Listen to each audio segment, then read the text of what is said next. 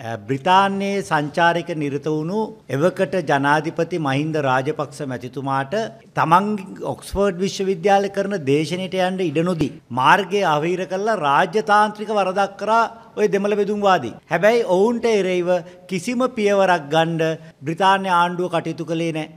තමන්ගේ රටට එරෙහිව උද්ඝෝෂණ කරනකොට තමන්ගේ රට දෙපොළු කරන්න ඉල්ලනකොට රටට ආදරේ පුද්ගලයෙක් විදිහට ඔහු තමන්ගේ ජාතික කොඩිය පෙන්නවා ඕවා කරොත් උඹලා ඉවරයි කියන එක හස්ත සංඥාවෙන් පෙන්눔 කරා. මොකද දැන්ටමත් ඒ බෙදුම්වාදයේ රට තුල පරාජය කළා ඉවරයි. මහා බ්‍රිතාන්‍ය වගේ රටවල් කීපයක තමයි බෙදුම්වාදයෙන් අද ක්‍රියාත්මක වෙන්නේ. ඉතින් එය පවුන් 2400ක දඩයක් ගෙවිය යුතු වරදක් නම් ඇයි රාජ්‍ය නායකයාට එරෙහිව හඬ නගපු?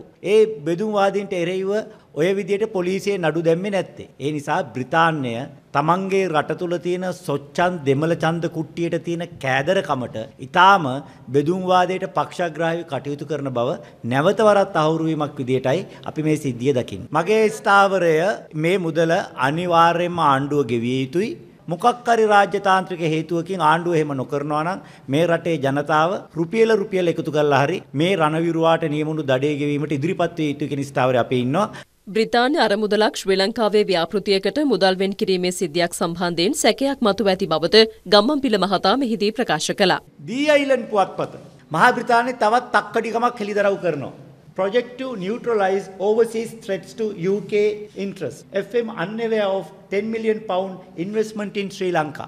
එංගලන්තේ තියෙනවා conflict security and stability fund කියලා අරමුදලක්. මේ අරමුදලේ අරමුණ තමයි එක්සත් රාජධානියේ ආරක්ෂාවට ස්ථාවර භාවයට තර්ජනයක් වෙන තමන්ගේ උවමනාවන් වලට බලපෑමක් විය හැකි කාරණා සම්බන්ධයෙන් ලෝකයේ අන් රටවල මුදල් වියදම් කිරීම. මේ අරමුදල 2018 වසරෙන් ආරම්භ වෙන තුන් වසරක කාලයක් සඳහා පවුන් මිලියන 10ක් ශ්‍රී ලංකාවේ ව්‍යාපෘතියකට වෙන් කරනවා.